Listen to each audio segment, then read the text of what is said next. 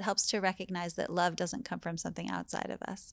And the moment you realize that, like, the only person who can ignite your light is you. Mm-hmm. And then the people and situations we surround ourselves with can either dim it or brighten it. Right. Right. And if we can learn that younger, then we recognize life is not happening to us, it's happening for us, mm-hmm. even if it's hard, even if it's nothing like we ever imagined it would be. Right? If we allow ourselves to recognize that this is an offering and we believe in that space, then everything is a lesson. Mm-hmm. And that's an offering.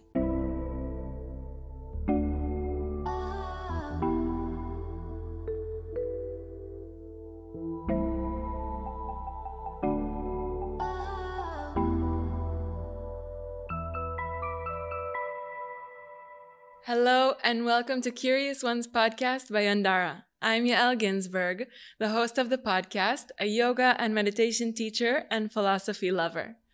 Each week, you will hear eye opening interviews with the different teachers of the Yandara Yoga Institute, located in beautiful Baja, Mexico, along with other teachers that pass through here.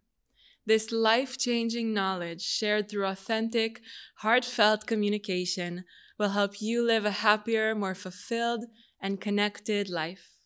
Let's dive in. I'm super excited to have our guest today, Ossi Raveh, which is from Israel, so I'm extra excited.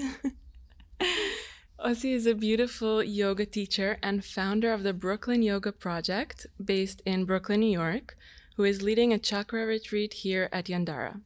In her younger years, she was a dancer, but after surviving a 40 foot fall with many major injuries, she was introduced to the world of Pilates as a form of movement therapy, which served as a stepping stone to various types of integrative movement, including gyrotonics, gyrokinesis, and yoga. Ossi has studied muscular therapy, Thai massage, and reflexology, and is also certified as a doula. Hello, Ossi. Welcome to the podcast. Hello. Thank you for having me. I'm so curious to hear about your journey so far, um, because you you did have a very interesting process. Could you talk about a little bit that process in terms of finding your purpose through um, a struggle that you went through, and how did you decide to make yoga your main path and your main mission in life? Uh, I don't think it was a decision. Mm-hmm. um, I started teaching Pilates a long time ago in the 90s. And then that led me into um, a shiatsu program, which led me to Thailand, where I studied uh, therapeutic Thai massage and worked with uh, terminally ill people for a little bit, and then um, continued as I came back to the city and taught Pilates. Uh, I met the founder, uh, Juliu Horvath of uh, Gyrotonic and Gyrokinesis, and his partner Gina, and I got to study with them, which was insanely amazing, unbelievable people. Mm-hmm. Um, again, a wonderful integrative movement therapy using utilizing different equipment that uh, rehabilitates the spine and offers so much. And the gyrokinesis gyrotonic is the machine work and the floor work. And then I continued on this sort of certification journey. Mm-hmm. um, and I kept, I, I was brought to yoga a lot uh, through dancer friends and through Pilates friends. And um, I, I never took to it. I never, uh, it didn't I was doing a lot of movement, um, but I wasn't really doing a lot of breath work. And it actually made me really mad. Every time I left a yoga class, I think I brought everything up and I never let it out through breath. So it really uh-huh. built inside of me. Um, and when I went to massage therapy school, I was brought to a yoga studio by a friend and the class was taught by a nurse and all of a sudden breath work was touched upon and alignment was touched upon and i thought all right this is the kind of movement i understand this is the kind of movement i've been teaching um, and i'd owned a pilates and gyrotonic studio for a little while that we closed after september 11th and then um, i went back to these yoga classes and i started going to classes with teachers who were teaching philosophy. Mm-hmm. Um, and it was weaved into the class, it wasn't thrown at me too much. I started to understand that yoga was a lot more than just this movement on a mat, and it was really a way of life. And I got curious and I started reading a little bit more about it and recognized that there was no accident in yoga coming in the order that it came to my experience because at that moment I had been through a lot in my life, and I think I was ready to apply the philosophy to my teaching. Um, and that's what I gained from learning more about yoga, the eight limbs of yoga, and the ability to integrate it as an offering through teaching movement, which was my platform. Mm-hmm. And uh, and then the more I learned, the more I learned, and then the more I learned, the more I learned, and it's and I think that having a passion and work that I do in this life that is consistent, that I'll never be done with, allows me to always love what I do. Mm-hmm. Yeah. Is yoga your passion? Yes. In what way? It resonates with the way I was raised. Um, my mom really did raise us to see ourselves as reflections of everyone and everything else in the world, um, good and bad. Mm-hmm. And um, it it really is the only form of movement that integrates how I am with myself and teaches me that in a way that I can then see how I am with everyone and everything else. Mm-hmm. I love what you just said. And I think that I would love to talk about finding your passion because I don't think that the path, as you said, that your path went through different, many different ways and different forms, and that it also needed to happen in the order that it did happen for you to be able to receive it. But could you maybe reflect a little bit over your path and how did you know to sense that which direction you need to go? That um, how did you develop it into a passion? Because usually i find that it doesn't we're not like there's not a moment that we're like okay this is my passion but it kind of like develops over time right? Yeah. I think i was lucky enough to have uh, my mom my guide who talked a lot about dharma what our what our dharma is, what our purpose is. She never used the word dharma. She mm. always said our purpose. We're all here with a purpose. What's your purpose? And um, I did a lot of reflecting on that through my whole life, even when I was a child. And I would come home and tell her stuff about school, and she'd say, "Okay, well, what is your purpose in this role?" We have three ways of interacting with people. We're either the teacher, the student, or both the teacher and student. Mm-hmm. So whatever it is that shows up for us in that moment is meant to be, whether it's your dharmic karma or this other person involved or group of people. It's not always just about us. Mm-hmm. And so I really think that with that way of understanding my interactions with the world around me, I got to a place where certain things no longer fed me anything. It was just a job. It was no longer work. Mm-hmm. It was no mm-hmm. longer my work, my offering. And I did feel with a lot of the different forms of movement that I was teaching, not to take anything away. I mean, I am walking because of these forms of movement and opportunities, uh, that I got to a place where there wasn't so much more I could learn, um, except for the exchange that I was having with my students, which there's always something to learn. We're always the teacher to, uh, to the student and the student to the teacher. Um, but I think that when I understood more about yoga and started under seeing it happening in my life, seeing it happening on the street, I was like, oh, this is so much beyond what happens in the classroom or in the mm-hmm. yoga studio or whatever it is that it's exchanged in. And it showed up in everything. I realized it really is the root of every form of movement and of a lot of different therapies. Um, and learning about the eight limbs of yoga and how I am with myself and how I am with the world around me, and then noticing how everyone else is with themselves and the world around us, and realizing these are the conversations I want to have. Mm-hmm. This is this is what feeds my soul, and it aligns with my dharma, my purpose. Mm-hmm. And so, I think that that recognition of what that is. And our Dharma is always, in my opinion, the same, but it changes what it looks like as we change. Throughout our lives, it kind of takes on different forms. Yeah, for sure. Mm-hmm. Yeah. So you mentioned seeing yoga outside of the yoga class and out of the studio. I was wondering, what does practicing yoga look like for you? So, practicing yoga on my mat um, is my ability to reconnect with myself, meaning I remind myself that I have to breathe more.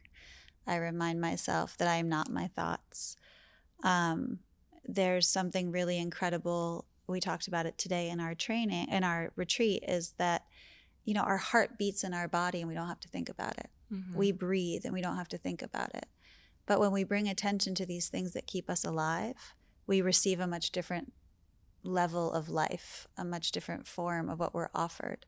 And so in the physical practice, I like my kids will be like, Mommy, you should really go to yoga. right. like it grounds me. Yeah. Um, and right now, in the state of this world, my head, like anybody else's, can get so loud mm-hmm. that the only thing that can quiet it is getting on the mat and breathing and moving. Mm-hmm. Outside of the studio, off the physical mat, I think yoga shows up everywhere.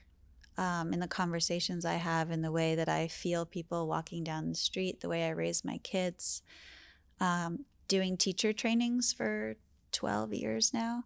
Mm-hmm. Um, what shows up in teacher trainings are the things that happen as we grow up and these things that we're told and these things that we're heard. And so the practice of yoga with my children is to try to shift out of that habitual way of speaking to them and bringing them right to where I am because I am you and you are me, right? Mm-hmm. And so that gives them a lot of power. It empowers them, but it also allows for them to feel held. Mm-hmm. And so to me, that's the balance of yoga, right? We are the balance between strength and surrender, light and dark, challenge and ease. And how can we find that?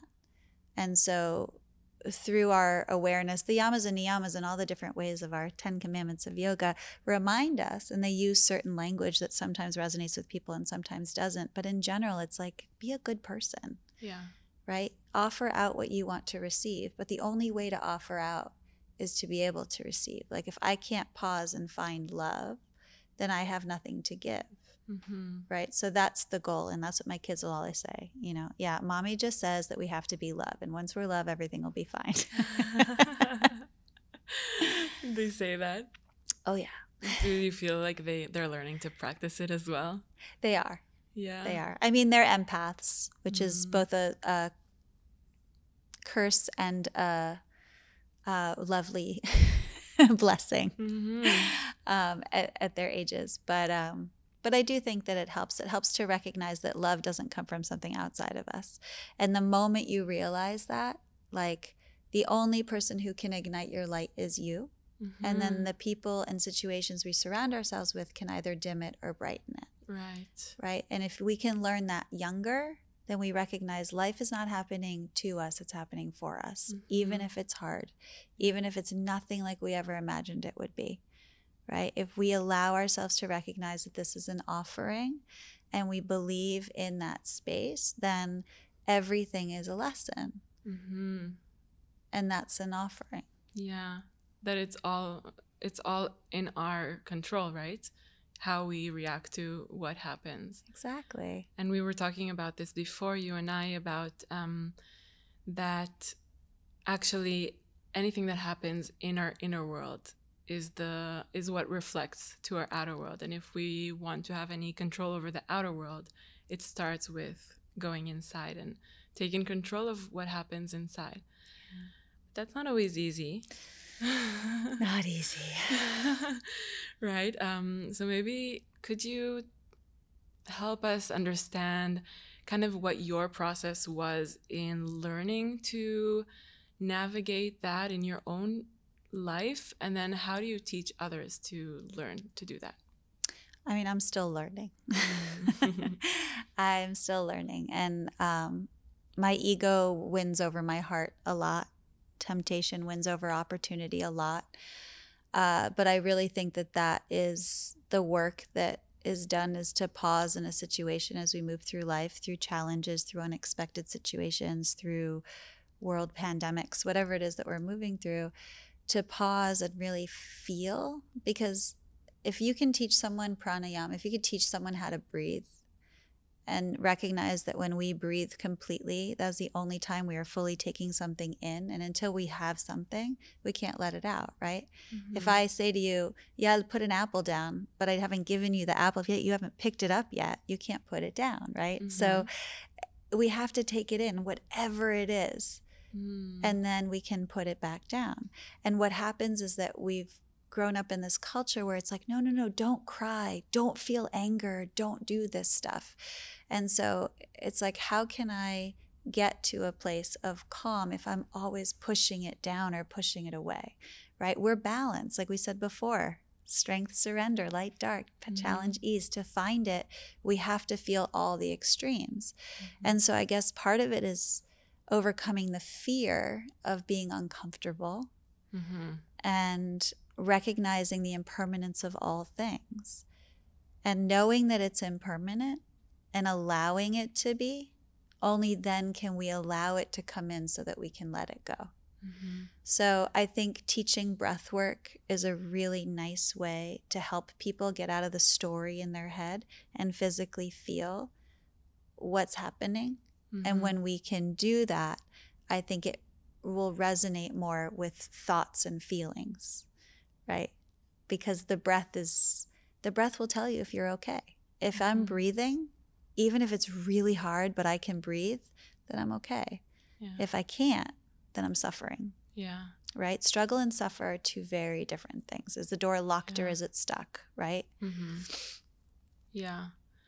I think that a lot of the times when I think of, okay, so now I can always find the answers within it's just a matter of kind of being able to sense it. But there is two voices in my head. There's the voice of the ego, and then there's my higher guidance, the way that I call it, you know? And it's not always easy to recognize which one is talking, which one is present. Do you know, or can you maybe give advice about how to know how do we know which one is talking and how do we connect to the one that is actually leading us where we want to go? I do think that it, it it's really hard. And i think that there are moments where we are 100% honest with ourselves and we step back from the external. What does it look like what do other people think how what's this going to be like later and we really feel, the ego is loud, the heart is intense, right? So that difference between the head and the heart is they're both telling us something. I guess the advice or what I would offer is getting quiet, mm-hmm. meditation, um, pausing and really listening enough that you can hear your heart whispering over your head yelling mm-hmm. and recognize does this really hurt my heart or is my ego affected because it doesn't make me look like the person I think everyone thinks I am or it doesn't it's not the answer people want me to give them or whatever, you know, mm-hmm. whatever the ego ignites. I don't know if that answers the question. yeah, definitely. I think I think that finding enough silence to be able to hear is what I'm understanding from your answer, and that's beautiful. I want to share something with you. Yesterday, um, when I approached you about doing this podcast, I was actually going through something in my personal life, and I was feeling kind of heavy because of it. And I was supposed to make a decision, or actually like write um, a message to someone, and I was feeling very unclear, and I was feeling very much in my ego. And after our conversation, it was maybe five minutes, our conversations, I felt completely different. And I felt that I really went down from my head to my heart. And the, the message that I ended up writing was so much more aligned with who I want to be in the world. And it's incredible because I was reflecting on it after and I was saying, like, we didn't even talk about the situation that I'm in. We didn't talk about anything too, too, you know, deep. But it was this small interaction that really shifted my whole feeling. That's amazing. and I do think, you know, it's funny. I have students who say to me, I feel like I know so much about you, but I don't know anything about you mm. um, through practice. And I think that, you know, I had a teacher in, in physical therapy school in college who she said to me, you know, I'd been through, I had a lot of injuries, and I had a really hard time working with people who had these like little broken finger, this and that, would complain. And I was like, I don't understand. Mm. and she said to me, Ossi, if you live your life trying to understand why someone feels a certain way, your life is going to be really long and really exhausting. She said, however, if you just listen to what they're feeling, uh, you might say, Why does that make you sad? But you know what sad feels like. Mm-hmm. So you connect with an emotion. I know what sad feels like. I know what mad feels like. I know what happy and joy feels like. Mm-hmm. And that's the relation right? Nobody's going to have the same experience ever. Even if right. you spend 24 hours with someone, you're totally going to have two completely different experiences. Right. But what we can connect on is those feelings, right? Energetically, it's there. Words don't need to be said about it, like you said. We can connect on something in a way that's like, oh my God, I know what that feeling of loss or that feeling of joy, I know what that is. And whatever followed that, that might resonate is this beautiful exchange and it's the story around it that takes away from it right mm-hmm. even when you're trying to explain an emotion what happens yeah. we change it because we're trying to talk to whatever whoever's around us thinking well they're not going to understand it this way or this way and then the feeling is changed mm-hmm. right so feelings are way too big for words Mm-hmm. But when mm-hmm. we can connect on what it felt like, not why, mm-hmm. I feel like mm-hmm. it can really offer what someone needs with so much less of the story. The story is what gets mm-hmm. in our way. Mm-hmm. That's the ego. Yeah. Right? How do you feel sad? Because blah, blah, blah, blah, blah, blah, blah, blah. Is, have you ever had just had someone say, I feel sad and be like, okay. Oh, no right i feel like we always try to like find a solution for them or make them feel better and that's like santosha like in in yoga where mm-hmm. they say mm-hmm. like contentment now mm-hmm. right can you be content right now and if you listen to the world it's like it'll be better when it'll be better when i get my degree it'll be better when i buy a house it'll be better when i'm in a relationship it'll be better no it's not going to be better mm-hmm. it might be different but it's not going to be better mm-hmm. so we're in this world of of connecting and so often what disconnects us is the ego it pulls the hearts away because it's trying to explain something that can't be explained, right? Mm-hmm. So reaction response, right? That that's yeah. kind of what we want to play with. Like, can we release the reaction and pause? But in this day and age, you have your cell phones and we have this immediate gratification, and someone sends something, and before it's even complete, before you even read it completely, you're already responding and reacting, and it's like, yeah. right? If someone just paused, we talked about this today in the teacher training. Like, do you remember those dial up phones? Mm-hmm. It took like 10 minutes. Like, if you wanted to react, by the time you could talk to the person, the reaction has calmed down, right? But we're in such a hurry mm-hmm. that, like, we are so far from what does it actually feel like. Yeah. We're just in what it sounds like. And what it yeah. sounds like, disconnected from what it feels like, is just maybe different than what you expected it to be. Mm-hmm. It doesn't make it wrong. Yeah. I love what you said about trying to see the other person's point of view, but not from the mind, uh, but from the feeling, not thinking like, okay, maybe we don't see things the same, but I can understand what they're feeling right now and connect with them on that level. Yeah. That's beautiful. And I do think that that maybe is is something that I integrate in this teaching of trying to get to a place where we live in a yogic lifestyle, right? In mm-hmm. the awareness of because to recognize, you know, you hear it all together, yoga and yoking, and we're all one, and da da da, and it's all these words. But what does that feel like, mm-hmm. right? What does it feel like? Because yeah. we're all having a totally different experience. Mm-hmm.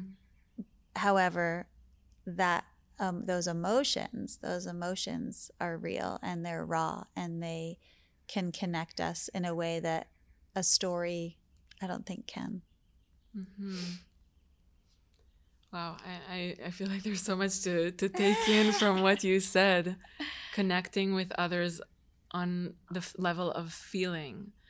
How does it feel for you to practice yoga, this oneness? How does that feel in your body? Sometimes it feels effortless, and sometimes it hurts like hell. uh, and most of the time, it has to do with what's happening in my head. Mm-hmm.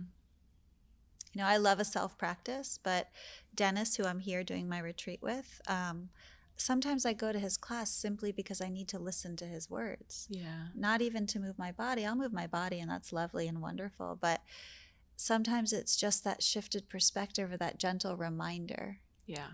You know? Mm-hmm. And the movement of yoga is just the outlet to get to that space. Definitely. I, I relate with that so much because yoga, what I found so attracting about yoga is that it addresses our inner world as well as the outer world. And to be honest, at my point right now in my practice, after many, many years practicing, I'm way more drawn to the philosophy of yoga and to conversations like this than the physical practice.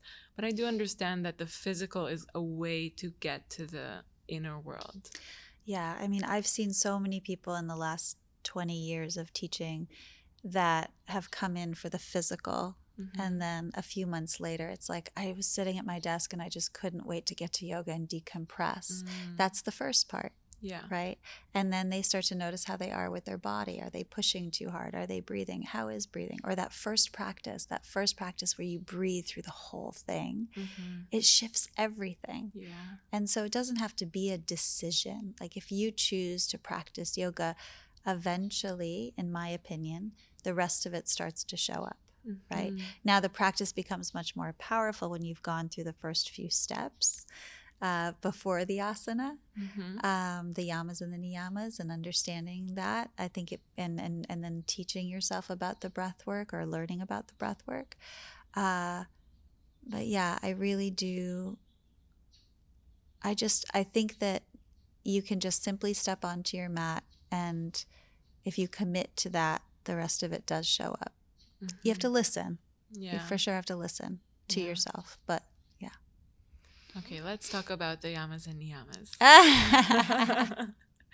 Because it's like, you know, it's two words that feel very um, unattainable and very far from our day to day life, but actually they're very much to do with just having a good human experience.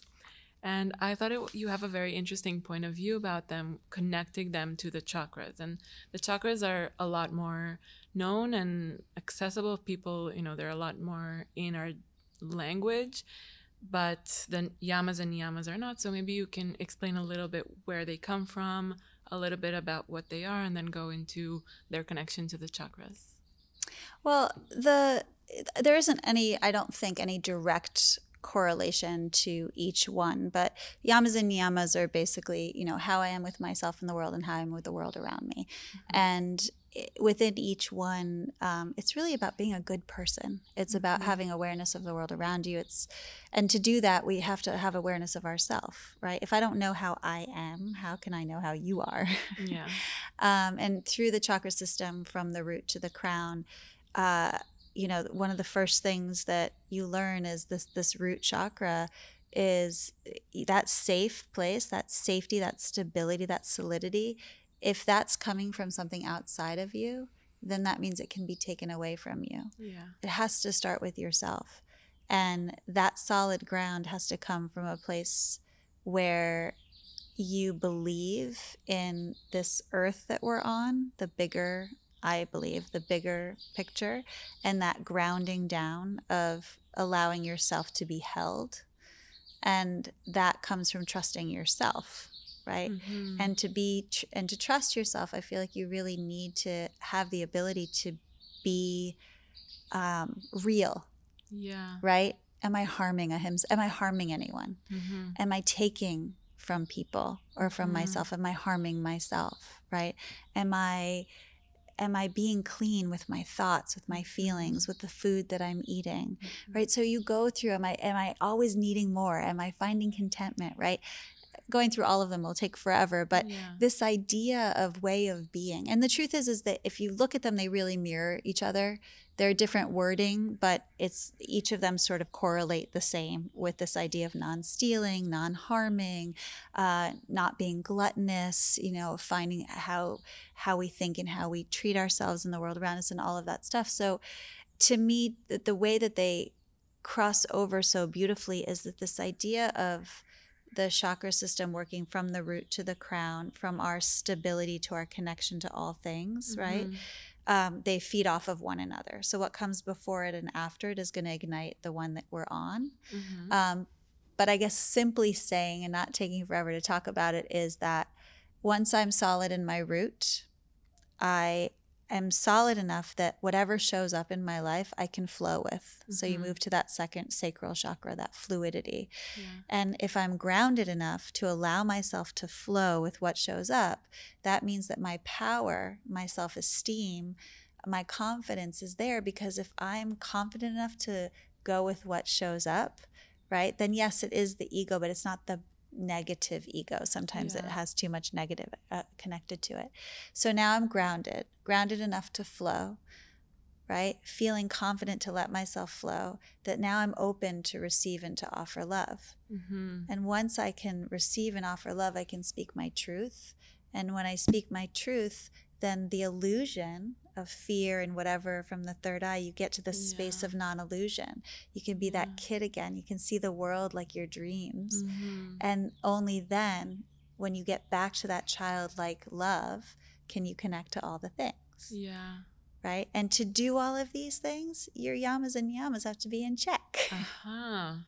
Okay, I understand. right? So, yeah. I mean, that's a very quick sort of way of doing it, but also it's like tangible, right? The thing about yoga is that everyone's like, oh, I don't know the Sanskrit and I, Sanskrit, and I don't know the word about this and the word about that, and I don't know da da da da da.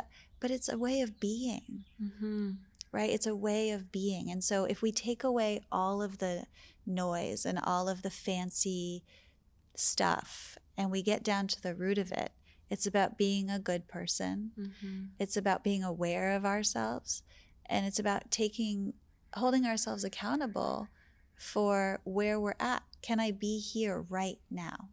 Right? And that's hard. Yeah. Presence is so hard right now Yeah. right? But when we live by these things, if you're really in your truth, which is one of one of them as well, is that I don't have to go back and wonder, what did I say to that person and what did I do with that person? I am clear because there was clarity around it, there was truth around it, and it doesn't matter where I'm coming from. I don't have to go back because I was there every step of the way in my truth. hmm Now that's not an easy way to live no. at all. No. But the goal of it will get us to this place where once we get there and those things are even just touched upon, then the balance becomes easier. Mhm. And then as soon as you get there, something else big happens and throws you down, and then you have to start all over again. But Yeah. that's the beauty of impermanence, right? Mhm. So we feel like, oh God, this is so huge and I can't get past it. And then we finally allow ourselves, like, I use, I use the image a lot when I teach. It's like when you see this, you know, see a huge uh, obstacle in the middle of the road and it looks like a rock, it looks solid, right? But then you approach it slowly, closer and closer and closer, and you start to lean into it and you realize it's sand. And you realize that it's not about pushing it out of the way or walking around it, it's about leaning into it. Can I lean into this obstacle?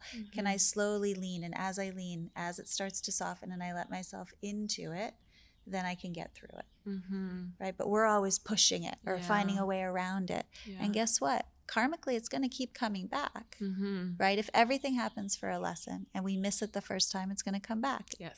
First, it's going to tap, then it's going to knock, then it's going to bang, and then it's going to Mhm. explode, right? Yeah. And we all know that. We've all been there. Yes. And so, where is that space where we can get to a place where the we can hear the tap, Mm-hmm. right? I think that Yeah. makes a difference. So, with the chakras and with the yamas and niyamas and with everything coming together, the reality of it is that It's really about can I see myself and meet myself right where I am today? Yeah.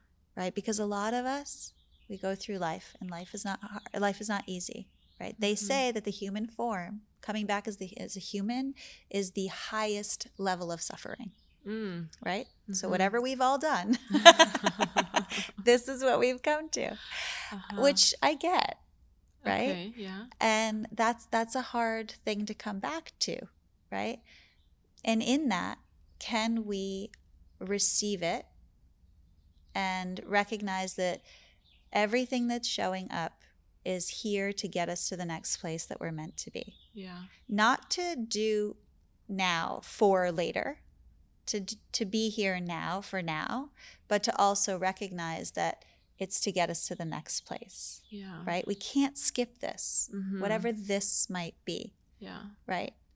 And so I totally forgot where we started on this, but I feel like that's a big part of it. Yeah, it's it's so so true. Um, I want to say about what you said about the human experience being uh, the mo the highest level of suffering. I guess it's probably because we're also ready for the biggest amount of growth, and that that the obstacles that we deal with and that show up in our life are just a way to get us back on the path if we kind of veered off, right? If if something isn't happening the way that we kind of wanted it to happen or thought it will happen, it's always in my experience it's always been to guide me to something that's more accurate for me and more aligned with kind of my dharma, my my purpose here on earth.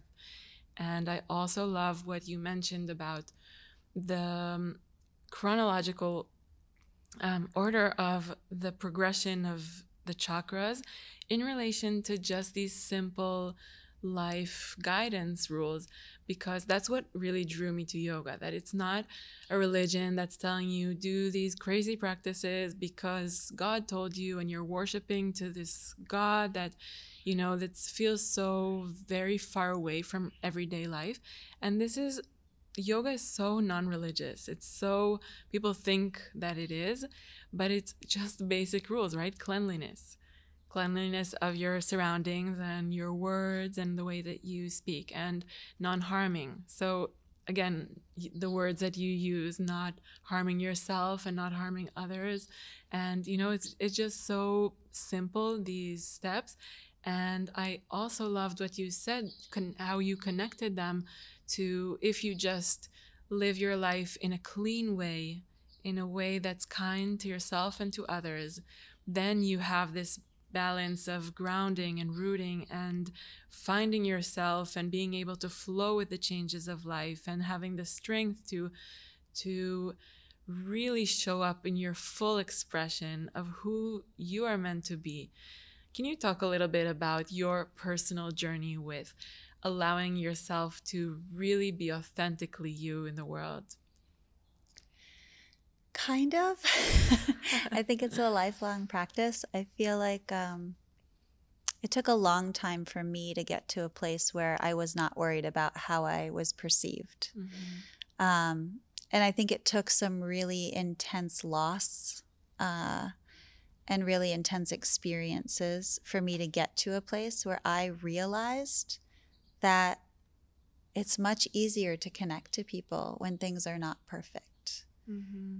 I have so much more to talk about with a person if I say, I'm having a hard time, then my life is great. My kids are great. My job is perfect. My relationship is everything. And everyone's like, yeah, I have nothing to say to you, right? Like, Yeah.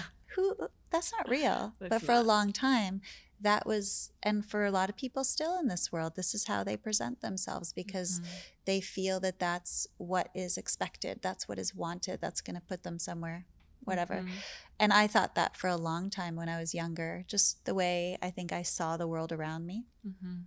And the more I learned that feeling things is okay and things being messy is okay, Mhm. um, it, it started helping me to reconnect to myself, which made it so much easier to connect to other people in a different way, right? Like we all have experiences in our life.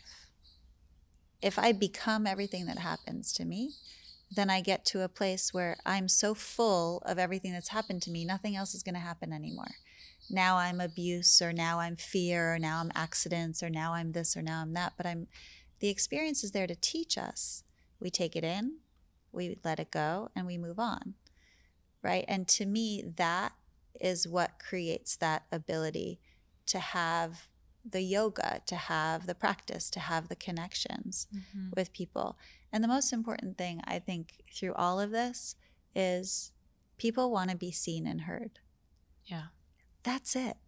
And loved. And loved and love.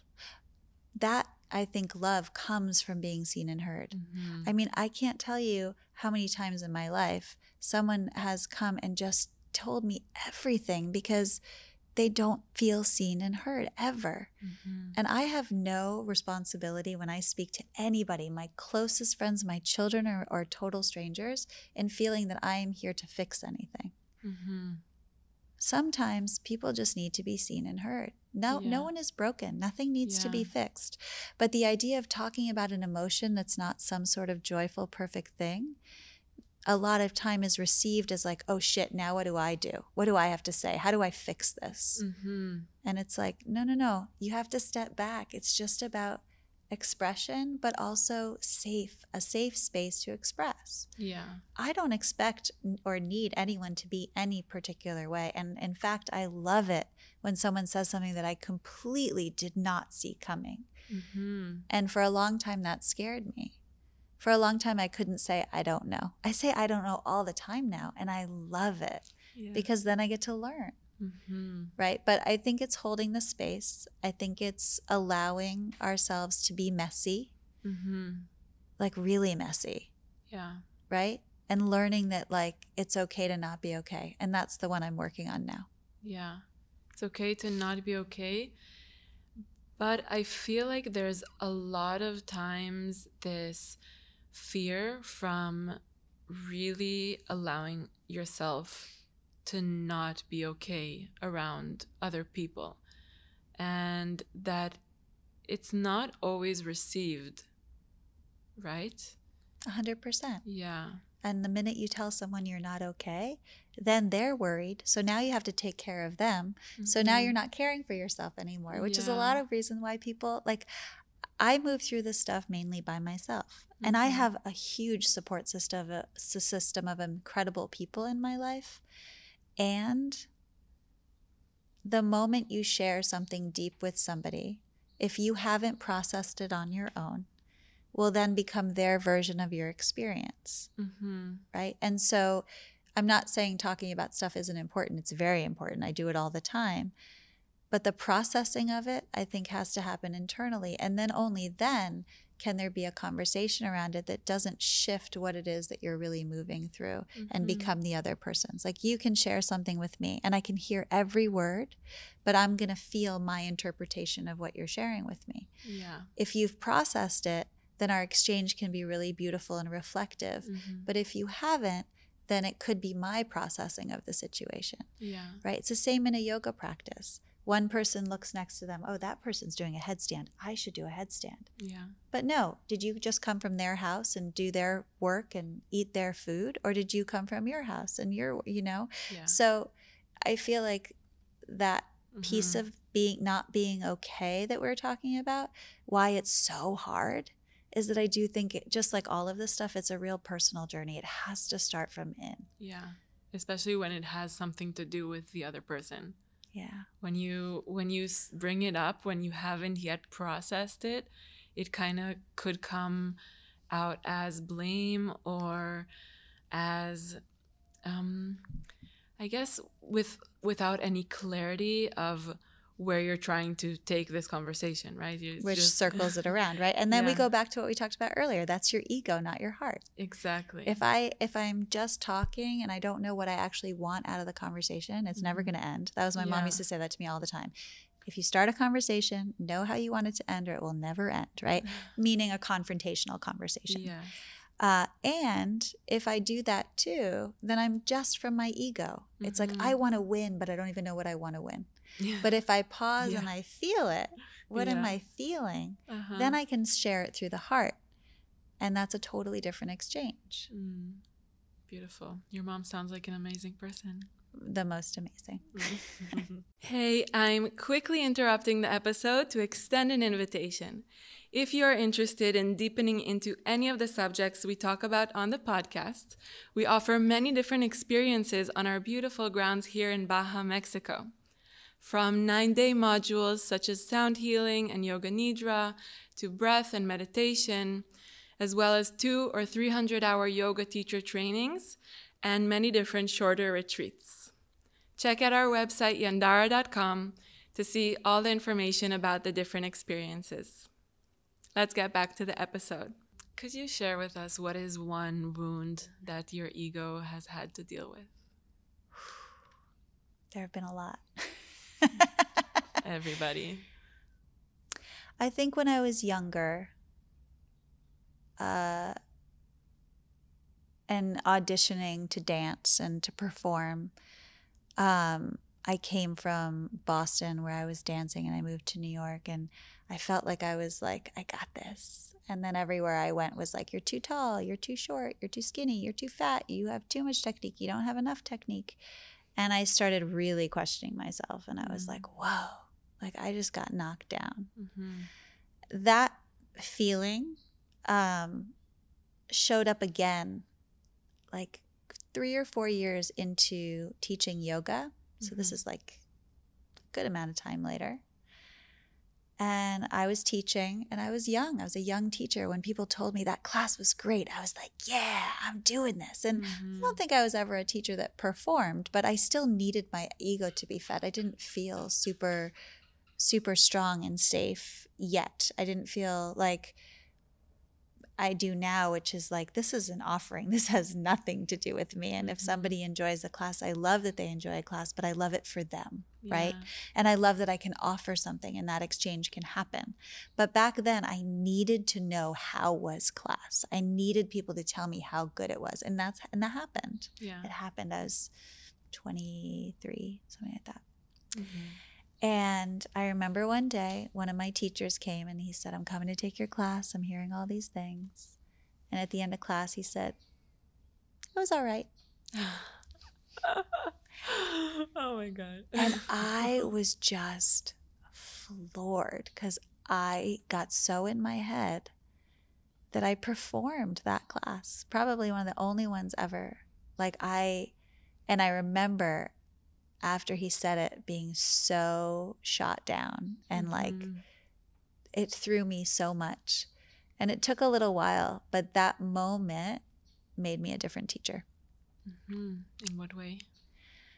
Uh, I stopped needing people to tell me if class was good and started letting myself feel if it was good. Mm-hmm. And I'll tell you, there are days where I will teach and be like, whoa, I just missed the mark. And people will come and say how much it landed for them. Yeah.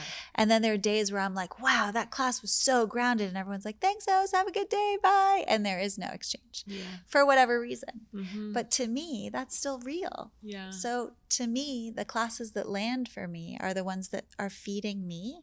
And the classes that land for others that maybe didn't feed is still a beautiful exchange, mm-hmm. but it's not necessary. Yeah. My goal is not to impress anyone. My goal mm-hmm. is to mm-hmm. hold space for people to have an exchange and a conversation. We're all living mm-hmm. in this crazy world. We all need to pause. Yeah.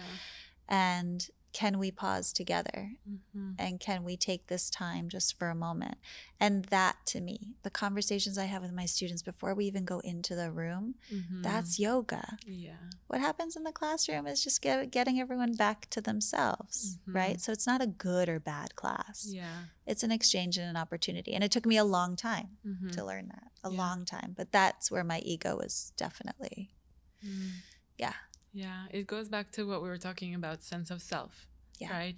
Knowing yourself enough that what other people experience doesn't affect your own experience. Yeah. Are there certain practices that you had to strengthen your sense of self? Yeah, I mean, I think that there are uh, there are times where I hear myself and it's different than what I feel. and that came up actually a lot with all of the teaching on Zoom with COVID. Mm-hmm. I hate I hate being on camera. I hate hearing my own voice. And my students will tell you like when I talk in class, I'm talking and exchanging. And if you ask me something that I said in class, I will not remember. I will not. I mean, every once in a while, but like I just I won't. Mm-hmm. And I all of a sudden was teaching these classes, and then I had to listen to them, and I had to put them onto this Patreon. I had to do, and it was like it really uh, it threw me Mm-hmm. and I needed to I needed to be nicer to myself about it. Mm-hmm. And that's what brought me back. Like I didn't sound the way that I thought that it was being offered, Mm-hmm. but it was being received in the way that I wanted it to be received. And so I had to let go, not be like, "Oh, I want to change this and I want to change that" because it's not about me. yeah.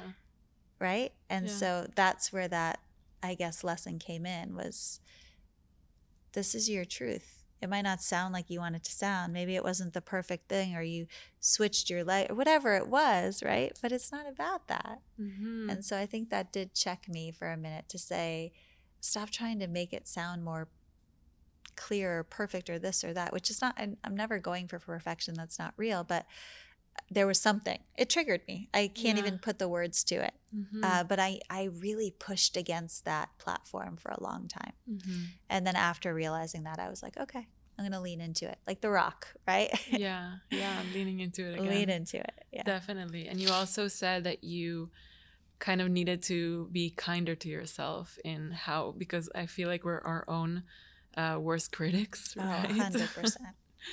yeah. And it's um, a lot. For me, I feel like it's definitely, there's still a long way to go on this journey of really rooting in who I am, maybe even my life's journey. Um, but for me, it kind of looks like what you said being kinder to myself and what I focus on, right? Not focusing on my mistakes and how I could have done it better, but looking at what I did good and what I do like about how I acted and letting that be where I lead from. And another thing that you said is letting it come from truth. If it's rooted in truth, in the truth of who you are and the truth of what you want to share, and people receive it as truth, then that's the most important, right? A hundred percent. And it's a lifelong journey for everyone because Yeah. impermanence is real and it's always changing. So it's not like, Mhm. oh, I've mastered this thing called life. Mm-hmm. Because every time you're riding a wave, eventually it's going to crash. Mm-hmm. right? And that sounds negative, but it's not. It's like we are promised two things when we're born change and death, Yeah. right? So we're moving in that direction, knowing that everything is going to change and it is going to be a lifelong practice, and we're going to learn and we're going to fall and we're going to get back up. We're going to fall and we're going to get back up, Mm-hmm. right? And allowing ourselves to do that makes all of this yoga stuff more accessible. Yeah. Oh, I want to take all of this. you are. I am. I am. And luckily, I have uh, I have a video of it, a recording. Can listen to it over and over again. Beautiful. So let's go on to our closing curiosity questions. Um, you know what? I have a question I want to ask before that. What is an important mistake that you made? Well, I guess I, I don't think that I would use the word mistake because I feel like everything has taught me something. Right. Everything. I do think that I am an impulsive person. And before kids, I would just wake up one day and be like, I gotta go. And I would leave and I'd go and I'd do all these things. And I feel like when I have an idea, I'm like, oh, that's what needs to happen next. And I want it to happen right now. Mm-hmm. So I think my judgment on those things, whatever word we're using, um, I, I learned from those uh, fight or flight reactions towards that stuff that sometimes just because I'm clear in my mind, it might not necessarily be on that path Mm-hmm. yet. Mm-hmm. So I said earlier, like the door is stuck or the door is locked. Yeah. Like I have tried to pull on a locked door a lot Mm-hmm. until I realized, okay. And then later, that thing has shown up in my life with such ease, right? Before I opened my studio, I was ready to open my own space. It didn't work out. I had to open it for other people. And it was not a mistake, but it was a very hard experience for so many reasons. Mm-hmm. And when I finally opened my own space, it was so easy Mm-hmm. like so easy. Everything was literally just fell into place in this way that I was like, oh, it was the right thing. I knew what I wanted. yeah. It just wasn't yet. Yeah. And I feel like that's sort of a nice example for a lot of the impulsive things I've done in my life.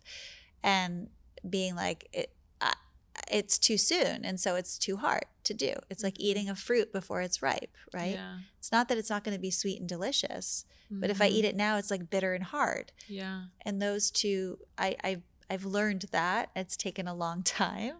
Yeah. And my mom used to study NLP, neuro linguistics processing, and she used to always say, the moment we have an idea or a question in the conscious state of our of our mind, the answer and the timing is in the subconscious. Mm-hmm. And until that answer shows up, it's not time yet. Wow. And I always loved it so much because I thought, well, yeah, but if it's back there and this is up here, now I have to look for it. And she was like, no, you have to be patient. Yeah. It's like baking a cake. Yeah. You make it, you put it in the oven, you have to wait. Yeah. Right. And so cake was our thing chocolate cake. uh, so, Mm. but, but it was so real. And, and the more I practiced that, the more I realized that those mistakes or those um, poor timing habits Mm-hmm. um, were really just uh, being in a rush to get to where I'm going next when what I needed was st- to stay right where I am, Yeah. right? They say it all the time. When we're kids, you're in a big Luna Park and you get lost, stay right where you are and we will find you. Yeah. And then we grow up and we feel a little lost and we run. Yeah. But what we need to do is sit right where we are and find ourselves again. Mm-hmm. And I feel like when these things come, at least for me in my life, I need a change. It's because something needs to be completed that maybe I can't access yet. Mm-hmm. And so I need to just pause. Yeah. And so I, I guess long winded answer for the mistake is really that like just just pause, just wait for Mhm. a moment and see what it looks like in a little while. Yeah, wow, your answer is hitting me right in the heart. It's so relevant to my life personally. And I love what you said because it connects also to what we were saying before that when we're trying to get clarity about a decision, is it coming from the ego or is it coming from our higher self, higher guidance? Uh, you mentioned that a good thing is to pause and sit with it and let the silence allow the answer to arise. And it connects to this in that it doesn't usually it doesn't usually come up right away. Right. right? It, ta- it takes a while. And i love what you said that it's if the question is in the conscious then the answer is in the subconscious but we just have to let it i guess let the process happen of allowing ourselves to be ready to receive the answer A hundred percent. oh i i want to cry then you should. I might. Tears are good. Tears are good. Yeah.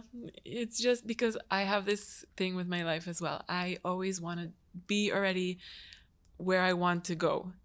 And sometimes it takes time and respecting the time that it needs to take and re- respecting each level that you need to go through to be ready to receive what you are trying to manifest or how you want your life to look like. Yeah, so much. Mhm. And we we actually covered that today in the shadow self part of the heart chakra is um, this when you land in the shadow when you're always a step ahead of the sun, Mm-hmm. right? And when we're in this shadow, this area of suffering of pain, um, it, we get stuck where we want to we don't want to feel this. We keep going and we keep going and we keep going, and now we're just in the shadow of it Mm-hmm. If we just sit for a second, then the sun will come back. Then that warmth will fill us. Then we'll feel the air moving through our body again, that element of the heart, and be able to recognize that we are we're running from something if we're in such a hurry. We might not know what it is, and we might not need to know Mm-hmm. Yeah. what it is, but we do feel it. Yeah. And in that moment of like, why do I keep hurrying up to wait, hurrying up to wait?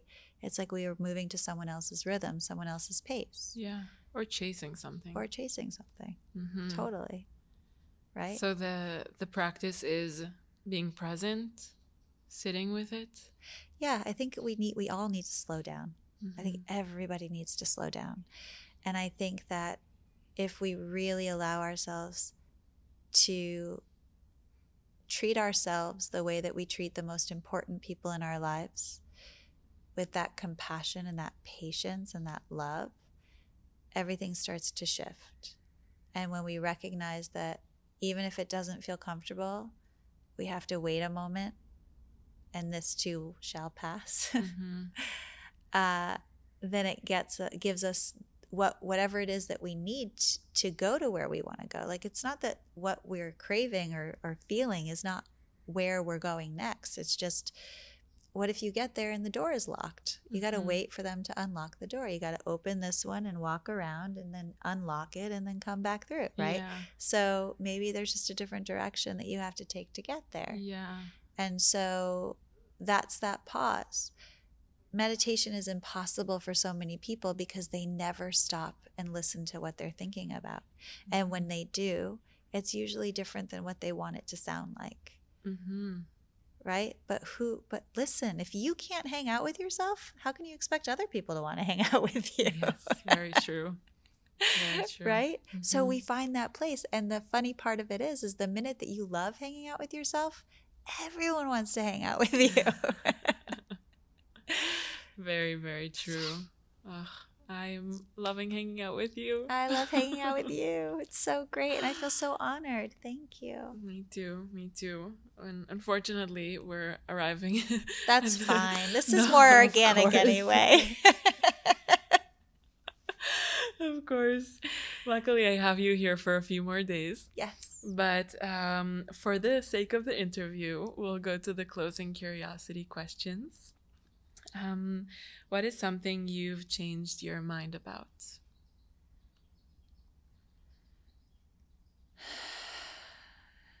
how i hope to raise my children Mm. um, I think I felt like I really needed to map out things for them. And now I'm learning more and more that they are my teacher. And I Mm. need to step back and as I watch them, allow them to teach me and empower them to teach me what they need from me as opposed to feeling like I always need to tell them, which I've never been an overpowering parent. However, there's such a fear of seeing your children hurt, which is part of growing up. I was just sharing this with one of my students that when my mother got sick, I said to this healer I was working with, I said, "Well, I just don't want them to feel that pain and that and that fear." And he said, "Well, why don't they get to feel it?" Mm. And it changed it. And that's what changed the most. Mhm. Is like and not just my children that I my children I've bared, but like the people in my life. Mhm. Like that allowing for the back and forth, right? Yeah. that recognition that we all deserve to feel all of it Mhm. and we all deserve to experience everything because to find that true balance between strength and surrender you have to feel both to Mhm. find that true balance between pain and joy dark and light like you have to go to the depth of both Yeah. or you'll never be in balance you'll always be leaning a little bit over to one side or the yeah. other Yeah, I love that. We we get to feel these feelings. It's not like we have to go through it. Right. I mean, I it changed my whole world. Just Yeah. that one thing he said to me, I was like, "Whoa, Yeah. whoa." Yeah. Wow. Amazing. What is something you didn't think you could do and you did? Keep going once my mom died. Mm-hmm.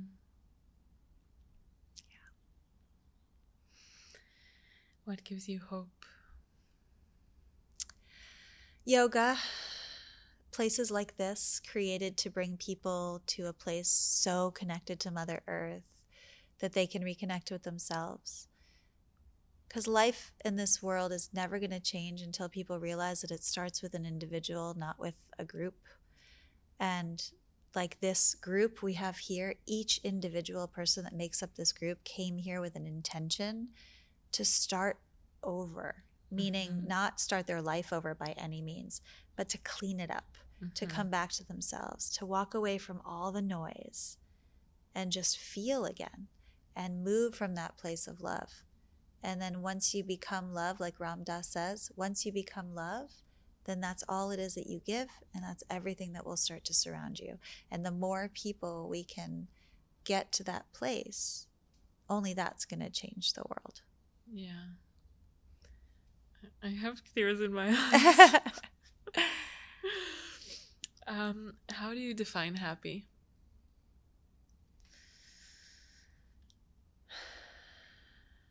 simple love, shelter, family. Amazing. What are you curious about right now? Everything. For real, everything. You know, a few people that are here uh, are very close, dear people in my life. And one of them says, I wake up every morning and I make a list of three things I'm grateful for. I have another uh, friend and student that wakes up every morning and talks about uh, how she's choosing to be present for everything that shows up, right? And um, I wake up every morning and I decide that I'm going to do one thing I've never done before. Mm. And I guess that's my curiosity. Beautiful. Yeah. Beautiful. Yeah. And this is it. I've never done a podcast oh. before. oh, really? Oh, I'm honored to be your first time. Me too. Is there anything else that's important for you to share? Just super gratitude and, uh, yeah, love and gratitude for you and for what you're doing in this place and this moment. Amazing. I have a lot of gratitude right now as well. Definitely. How can people stay connected with you? Uh, Brooklyn Yoga Project. There's a website, brooklynyogaproject.com. Um, and um, yeah, we have a Patreon so you can take classes from all over the world. Mm-hmm. They're all recorded classes, and we have some live ones, but all the information's on the website. So Amazing. I guess that's a good way to to say it. yeah, and if you're in Brooklyn, make sure to go to her class. I attended her class this morning, and it was magical and beautiful, and just the style that I love, like a challenging vinyasa, but not too challenging, and with a lot of words of inspiration throughout. And your presence was just magical, like very um, powerful and soft and inviting. And I loved it. So make mm-hmm. sure to go. Thank you so much for doing this, Ossi. Thank you. Now, after this time to nurture your mind and your spirit, we invite you to take a moment to consider others. A kind wish might come to mind.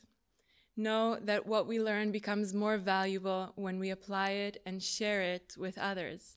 So share this episode on Instagram stories, tag Yandara and I, or share with a loved one so that more people can benefit from it. Our hope is that the search will lead you home to who you already are to what was always there. We'll be back next week with more inspiration, honest conversation, and insight into the energetic world around us. Thank you for listening and watching.